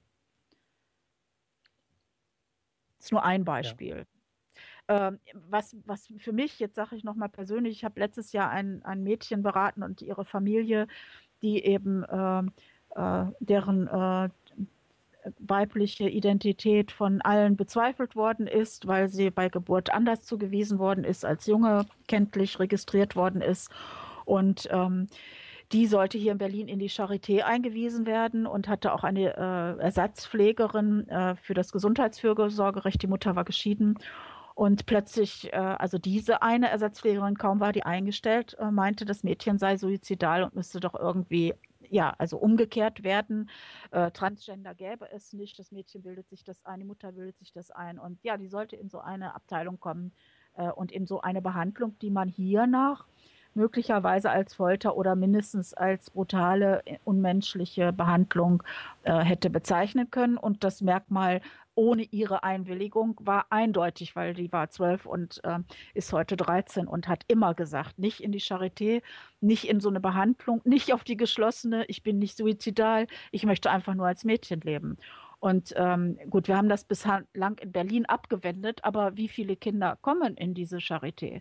Also ob es äh, zwischengeschlechtliche Kinder sind oder Transgender-Kinder, die in diesen Zugriff der, des Gesundheitswesens kommen und solche Dinge erleben sollen, ähm, da steht nicht immer gleich eine ganze Bewegung daneben oder eine Menschenrechtsberaterin oder eine NGO oder ein UN-Bericht. Also insofern muss man jetzt wirklich diese Krankenhäuser ausfindig machen von Berichten von Betroffenen und mit den Verwaltungen, mit den auch ähm, mit dem Staat reden. Das kann ein Bundesland sein, das kann auch eine Kommune sein oder eben der Bund, je nachdem auch, wo die Gelder herkommen. Die müssen auch darüber in ihrer Verantwortung äh, sein und sagen, Moment mal, das Erste ist, wir streichen das Geld, bis hier klar ist, dass sowas nicht mehr passiert, bis wir das äh, geprüft haben, wie oft, äh, wo ist es, in welchem Ausmaß passiert und haben wir jetzt endlich Personal, das das nie wieder macht. Also ich denke, Natürlich ist so ein Dokument wichtig. Ich werde damit natürlich zu der Senatsverwaltung Jugend gehen, mit denen wir damals auch gesprochen hatten und die ganz erschüttert waren, was da in dem Einzelfall passierte. Und man muss das jetzt natürlich äh, verallgemeinern, dass äh, wir nicht nur zufällig ein Kind gerettet haben oder Schlimmstes abgewandt haben, sondern eben ja, dass, dass wir das verallgemeinern, dass wir garantieren können, der Staat schützt äh, alle und stellt alle Menschenrechte ähm, sozusagen äh, klar, dass die auch genießbar sind, garantiert sie. Das ist natürlich de facto nicht so. Ja, hinsichtlich der äh, Vernachlässigung der universellen Menschenrechte, also Menschenrechte der UNO, fällt mir auf, ich habe mir ähm, mit äh, Sarah zusammen geschmökert in dem Handbuch der Rechtsförmigkeit. Das ist so ein Handbuch für äh, Gesetzgeber, also fürs Parlament, herausgegeben vom Bundesjustizministerium. Da haben wir Ach. mal gesucht nach universellen Menschenrechten und da steht als einziges, was man da abprüfen soll, die allgemeine Erklärung der Menschenrechte ist. Also lange nicht mehr aktualisiert worden hinsichtlich der anderen Menschenrechtsverträge, die äh, Deutschland zusätzlich zur allgemeinen Erklärung der Menschenrechte, die ja selber nicht ratifiziert ist, ähm, auch eben noch zusätzlich ratifiziert hat. Aber schon die allgemeine Erklärung der Menschenrechte sollte man immer beachten bei jeder Gesetzgebung. Die anderen hat man gar nicht mehr dazu geschrieben. Ja, äh, das ist, äh, ja, ich würde sagen, juristisch fahrlässig. Also, denn ähm, die Bürgerinnen, die ja beschützt werden sollen, die, der, der Staat, wo die Gerichtsbarkeit, die Medien etc. etc., also die Gewalten eigentlich der Demokratie sicherstellen sollen, dass wir unsere unveräußerlichen, natürlichen, universellen Menschenrechte alle ohne Einschränkung genießen können, in jeder Situation, jedem Alter, in jeder Gruppe dieser Bevölkerung gleich jeglicher Merkmale, die da immer aufgezählt werden, Geschlecht, Rasse und so weiter und so weiter. Ähm, ja, so sollte der Staat sein, ist er natürlich lange noch nicht. Äh, ich finde das auch eigentlich manchmal schwer, die Ruhe zu bewahren, wenn ich sehe, wie das entweder ignoriert oder aus Dummheit nicht in den Blick kommt, wenn man Debatten führt oder der Staat handelt oder selbst vor Gericht in Deutschland, aber auch in anderen Staaten, das noch nicht absolute oberste Prämisse ist, Menschenrechtsabkommen werden Artikel für Artikel geprüft, durchgesetzt, gesichert, garantiert. Also da äh, haben die Staaten die zwar alle abgeschlossen und ein ganz kleiner Teil der Zivilgesellschaft, so Fans wie wir, ja, Aktivistinnen, sind dann froh, dass das da durchgekommen ist und waren irgendwie beteiligt, aber dass man dann 80 Millionen oder irgendwie so drumherum äh, Menschen, die hier in Deutschland die Staatsbürgerschaft besitzen und noch ein paar Millionen vielleicht mehr, die sie nicht besitzen und hier legal oder illegalisiert leben, aufklärt und sie in den Stand versetzt, dass sie ähm, das alles genießen können, was ihnen gehört an Recht ähm, oder von Richtern ihnen zugesichert wird und so weiter, das ist nicht da.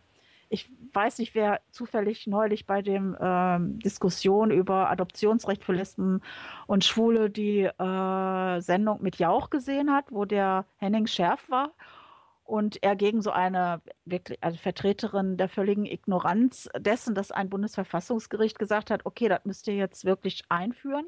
Das haben wir jetzt schon mehrfach, aber jetzt sagen wir es eindeutig, kann nicht aufgehalten werden. Und eine Vertreterin einer Regierungspartei sitzt da und sagt, nein, machen wir nicht, nein, machen wir nicht. Und da hat Herr Henning Scherf äh, gesagt, also suchte so nach einem Wort, was es denn sein kann, und er hat einfach dann irgendwas gesagt, ja, dann sind sie verfassungswidrig.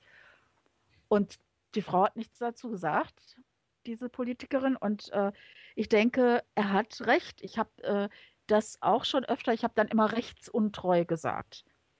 Oder eben, wenn das Handbuch über, wie heißt das Handbuch, Rechtmäßigkeit?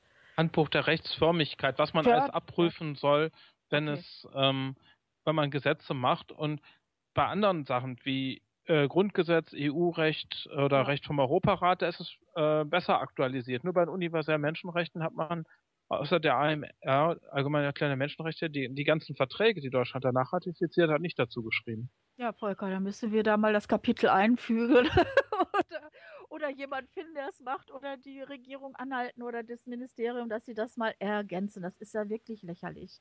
Also ich meine, an anderer Stelle lassen sie natürlich die Bundeszentrale für politische Bildung schon äh, Bücher, die äh, höchstens eine Schutzpflichtgebühr von 4 Euro kosten, mit allen Menschenrechtsabkommen drucken, dann müssen sie jetzt hier auch mal jemanden äh, mit kleinster Summe finanzieren, das nachzutragen.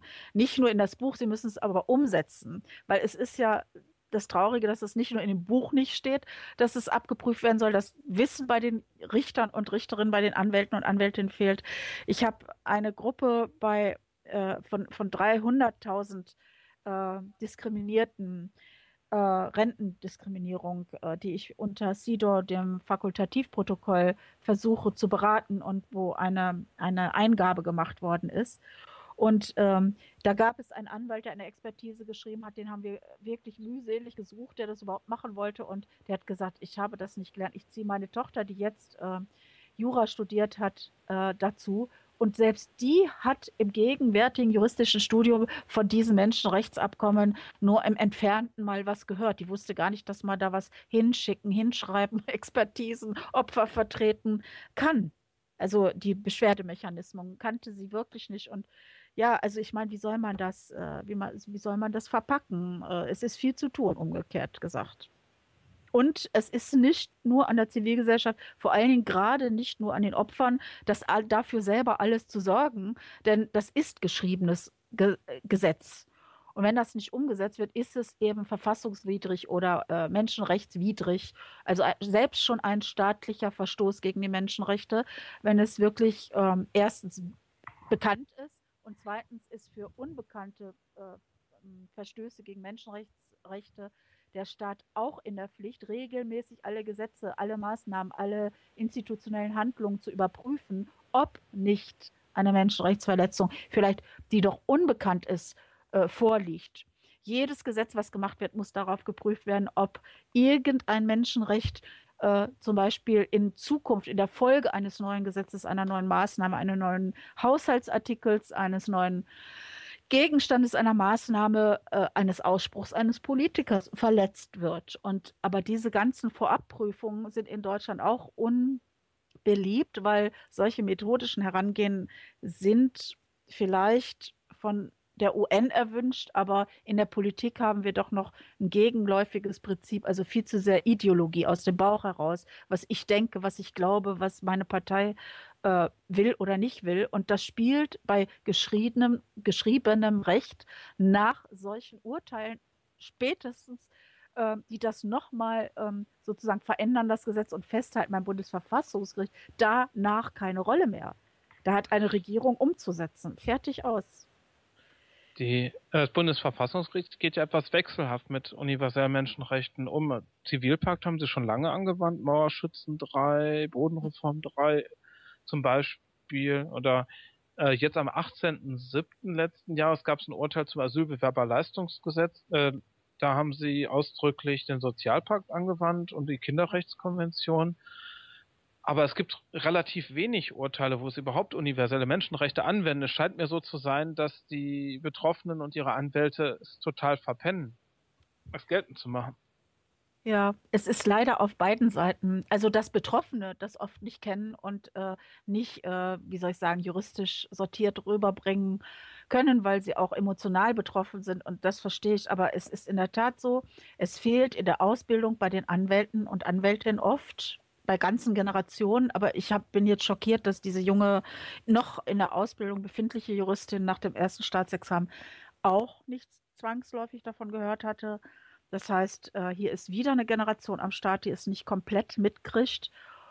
Äh, es gibt auch eine Tendenz, dass die Bundesregierung seit längerem, also seit gut zehn Jahren, immer auch in wie soll ich es jetzt sagen, also in äh, Gesprächen mit der Zivilgesellschaft, mit NGOs, die sie ja zum Teil fördert, äh, nahelegt, dass man sich auf die äh, Europäische Menschenrechtscharta beruft, dass man sich auf Europa, den Rechtsraum Europa beruft.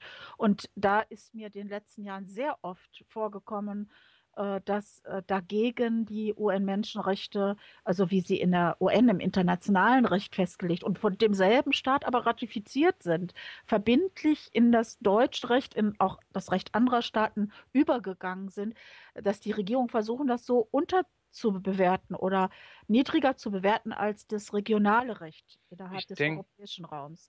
Das ist denk, nicht zulässig. Ich habe den Eindruck, dass es auch um Geld geht.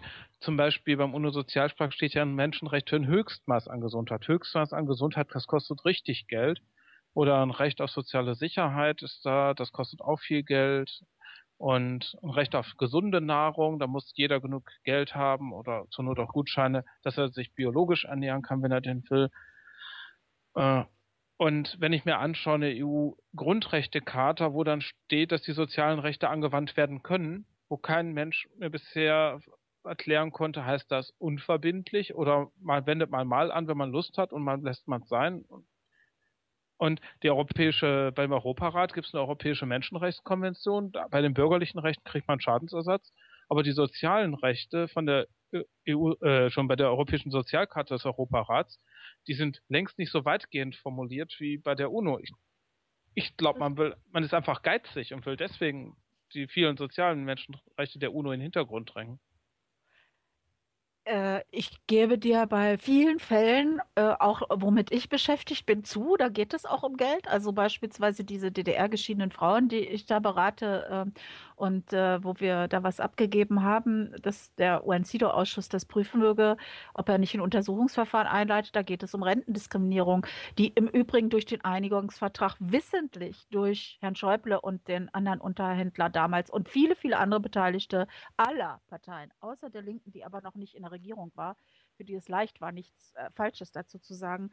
Alle haben gewusst, was sie einführen. Und damals war die Linke natürlich noch nicht äh, in der Konstitu äh, Konstitution am Tisch. Das heißt, alle, die jemals mitregiert haben, alle Bundestagsparteien also, außer die Linke, haben gewusst, dass man eine Diskriminierung produziert durch einen Einheitsvertrag und folgende Rentenüberleitungsgesetze.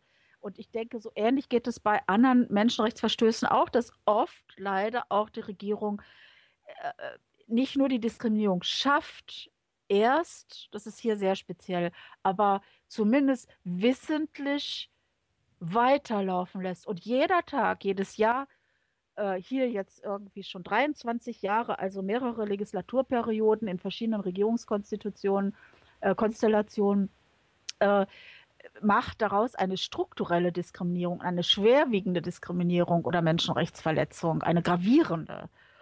Und äh, das Schlimme ist ja, dass wer ist denn Mann? Mann, der Staat, das ist ja nichts Abstraktes, das sind wir. Wir haben eine Demokratie, wir sind auch eine Republik, glaube ich, heißt das immer noch.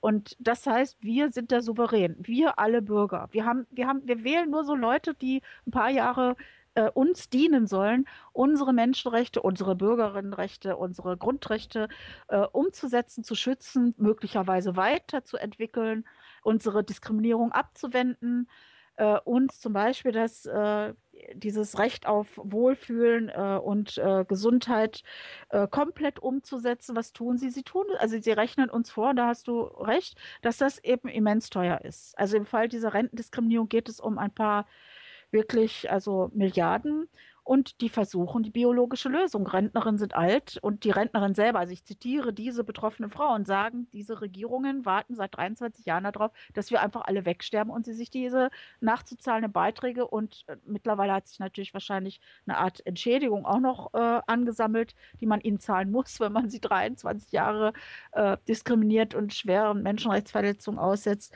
Also die Regierung denke ich schon, dass die manchmal sagt, das ist zu teuer, würden wir Menschenrecht umsetzen. Bei den Frauen gab es 2003 eine interministerielle Arbeitsgruppe, die sollten eine Lösung erarbeiten. Und das ist, ich denke, auch sehr abstrakt zu sehen. Die haben dann gesagt, sowas könnte man steuerfinanziert machen.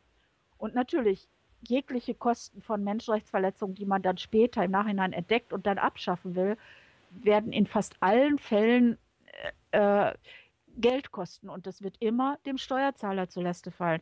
Aber der Steuerzahler will ja auch Menschenrechte umsetzen. Er, er, hat doch diese Regierung dazu beauftragt, also warum sollte er dagegen sein? Und diese Arbeitsgruppe hat damals gesagt, das ist zu teuer, das ist zu verwaltungsaufwendig ähm, und hat im Übrigen auch im Bundesverfassungsgericht Abweisungsurteil, das bisschen, was da drin stand, falsch ausgelegt, meiner Meinung nach. Ähm, ja, sie drücken sich um diese Kosten, weil sie äh, vielleicht auch so Kalkulationen haben, dass das schlecht bei der nächsten Wahl ankommt. Die haben uns diese Kosten reingedrückt und so weiter. Aber nochmal, die Regierung ist nicht die, ist nicht wer anders. Das ist auch kein abstrakte Krake. Das ist, das sind wir. Das ist das Volk. Wir haben die Souveränität und wir stellen uns immer so Team äh, Bundestag und Team äh, Regierung an, äh, die wir also eigentlich für uns arbeiten lassen wollen und äh, die auch Verpflichtungen haben. Die müssen verfassungsrechtlich handeln, die müssen Menschenrechte, die ratifiziert sind, umsetzen und nicht diskutieren, ob sie sie wollen oder nicht.